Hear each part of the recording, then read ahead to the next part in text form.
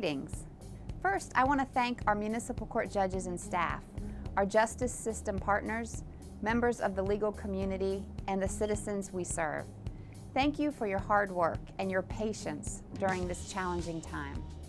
Second, I want to assure you that we are doing everything we can to carry out the court's mission during the COVID-19 pandemic. We've been hard at work planning how to adapt and respond to the restrictions required during this time. The important work of the court cannot come to a screeching halt. However, we must undertake our responsibilities in a way that protects the public health. The City of Columbia Municipal Court is always concerned about the safety of its visitors. In light of the pandemic, we have closely examined our procedures and made important changes to help safeguard our health and your health while you're here. We are limiting the number of people that are allowed in the courtroom at one time. Only defendants, witnesses, and victims will be allowed inside our courtrooms. Anyone who is sick or has COVID-19 symptoms will not be allowed to enter the courthouse. Everyone who enters the courthouse must have their temperature checked.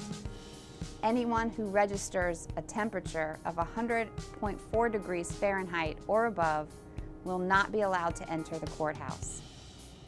Employees and members of the public are required to wear face masks when at the courthouse. Everyone must maintain social distancing by staying at least six feet apart at all times. There are easy to read signs, floor guides, and seat guides to remind people of the need to social distance.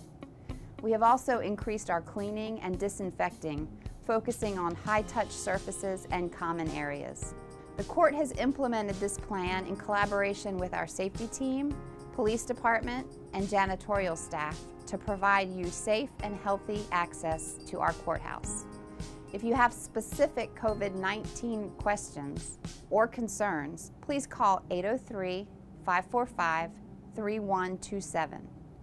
We are committed to serving the public now and always, and we stand ready to safely welcome you back into our courtrooms.